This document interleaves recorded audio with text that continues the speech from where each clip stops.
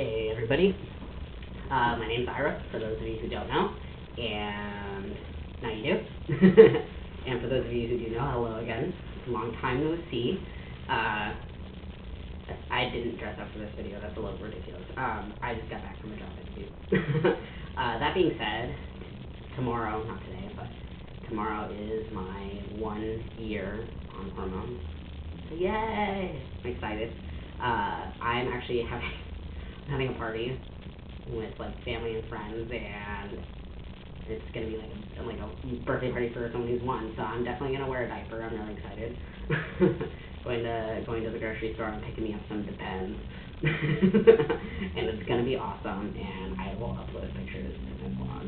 Uh, so I I wanted to be a little more organized with this video because sometimes I just ramble on forever, which I'm going to do anyway, but I prefer to ramble on forever and remember what I'm talking about. uh, so I'm going to be talking about five things today, and the first thing is hair, body, facial, hair on top of my head, hair. Uh, and then the second thing is my voice. Third thing is libido. Fourth thing is emotions, and the last thing is stability. Um, so let's begin. Uh, okay, so so hair. I'm beginning to lose my hair. I don't know if you can really tell. It's kind of receding. Not really. I have a lot of hair on top of my head, and I don't have that much body hair. So the way that I see it is like the universe was like, Ira, you don't need any body hair. We're just gonna stick it all right here. and it'll, don't worry, it'll be fine. It'll collect all of Arizona's heat. uh, but I'm also getting. It's interesting because I stopped taking hormones for about two months. So, uh, well, I slowed it down significantly and basically should have stopped hormones because I wasn't doing anything for me anyway. Uh, because I was too poor. But um, that being said, I all of all of the things, all of my growth, kind of not only did it plateau, it in some ways dropped. Um, but now I'm I'm getting significantly hairier since I started hormones again. I've only been on hormones again for a couple months now. Um, so since I've been on hormones again, I've been getting significantly hairier, uh, which is nice because it's almost like my body's like, okay, Ira, we know how you feel about this. Let's catch up. Uh, I also have some more facial hair. I don't know if you'll be able to see it. Let's see. The lighting here isn't exactly awesome. So yeah, it's darker right here, and that's because there's hair there. Surprisingly, uh, I have um, sideburns coming in, which you know, I have been saying for a while now. Uh, I am getting way more chin hair, or beard, I guess you could say. I don't know. You probably can't see it, and that's fine. Um, there's only like 15 or 20 of them. I'm just gonna scratch my head during the whole video, by the way. Uh, there's only about like 15 or 20 of them, and I should probably care more about grooming, but I'm just so excited that it's there, and I'm like emotionally attached to it being there that I just don't do anything about it, and I probably should because it's getting all scraggly and weird looking. Um, so that being said, I have it's like a straight line right here, and then I have like a little tiny patch right here, which is weird, but it, you know it is what it is. And then I get it on both sides, right beneath. Uh, the, I think it's called the apex of my mandible, right? And so it's just like of all the places that I could be getting facial hair, it's and like the most potentially gross. I'm, you know, I'm getting a neck beard first, which is disgusting. Um, unless it's your thing. I think it's gross for on my body. Uh, I don't want a neck beard. In fact, I would I would be way more happy if I just didn't grow any hair here, and and if it just like stayed in this area. But say love you.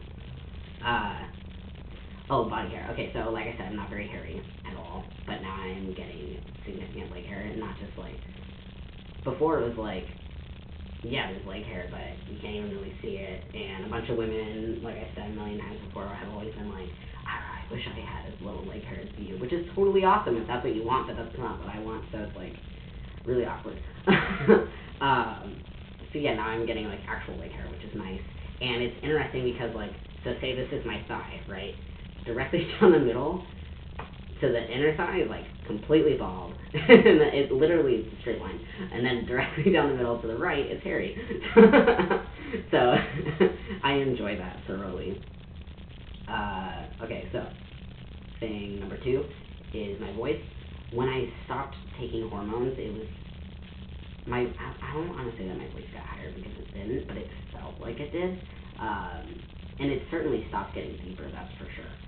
Uh, but it was interesting because I'm still on the same prescription as I was before. I just, you know, I do twice as much less, um, and not as often.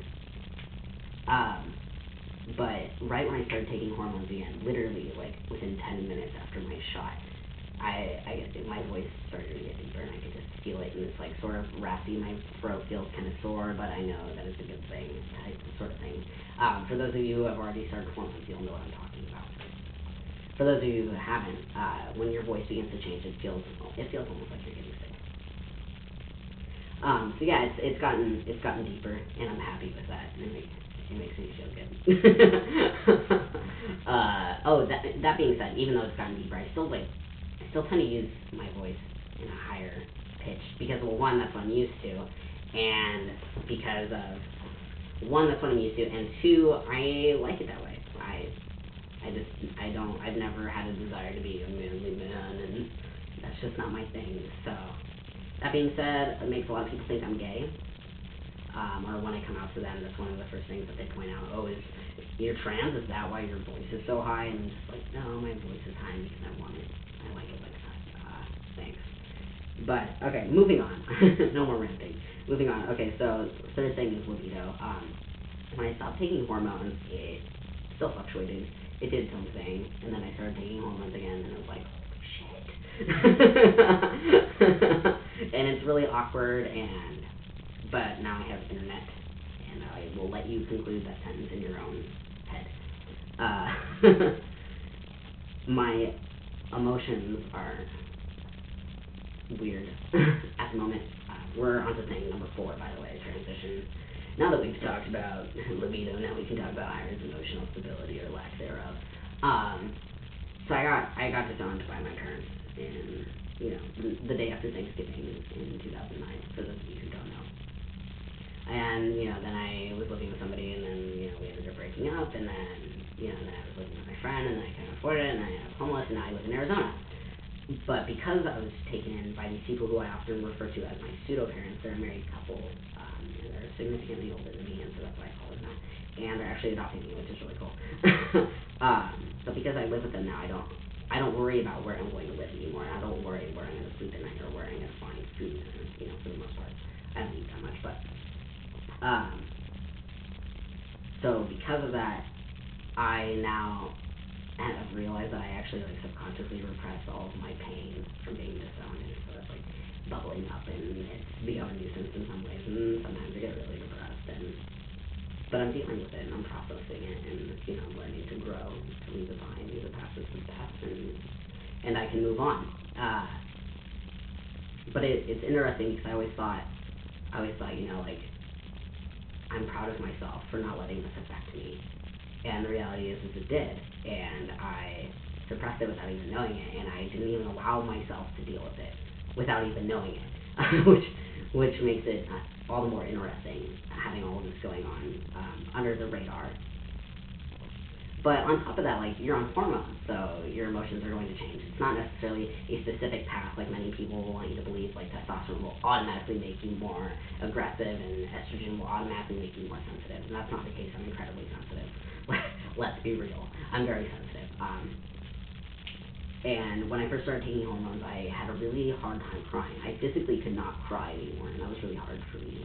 Um, and now it's getting to the point where I can cry again and it's starting to stabilize in some ways and be more erratic in others. And that being said, uh, stability being said, we can move on to that topic. Um, the last thing that I wanted to talk about. A lot of things are beginning to stabilize, although that you know they are they are fluctuating, but it's it's gone from being like this to you know a more steady path, and it's and it's slow. When you first start hormones, or when you're wanting to start hormones, waiting to start hormones, you expect all of this radical change to happen right now, and, and that's all fine and dandy. And and it kind of it feels that way at first because it's all so new. Um, but now that I'm used to it, it's you know it's not so radical and it's not so intense, which is good for me because I I need that at this point in time in my life. I like stability. That's my thing. For those of you who don't know. Um, but for those of you who are in the beginning of using hormones and and you're just like, gosh, when is it? When are things just gonna feel normal again? Because I felt like that for a while. When are things just gonna feel normal again? It'll come in time. Don't worry about it.